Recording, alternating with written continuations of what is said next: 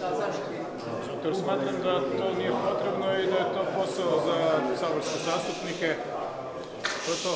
To je bilo i prije četiri godine isto, tako. Evo sad je isto. Odazvali su se i prošli predsjednici, vi kao aktualni niste došli, ne mislite da je to dobro? Da, ja nisam prošli predsjednik, ja sam aktualni predsjednik i Sabor je tijelo koje ima svoju ustavnu ulogu.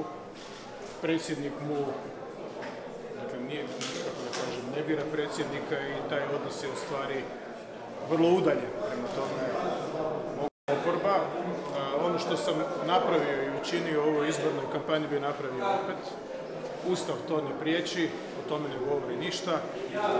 To što jedna grupa ljudi koji su potpuno politički pristrani misli i što govori, neki od njih, dakle neki su i ustavni suci, to je jedna stvar.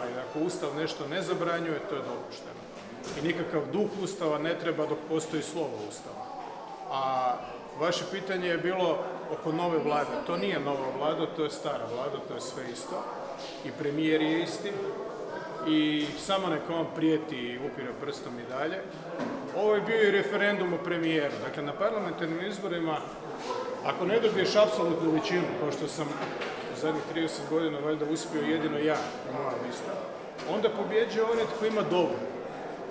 On je plakao nekoliko tjedana što mu niko nije čestitao.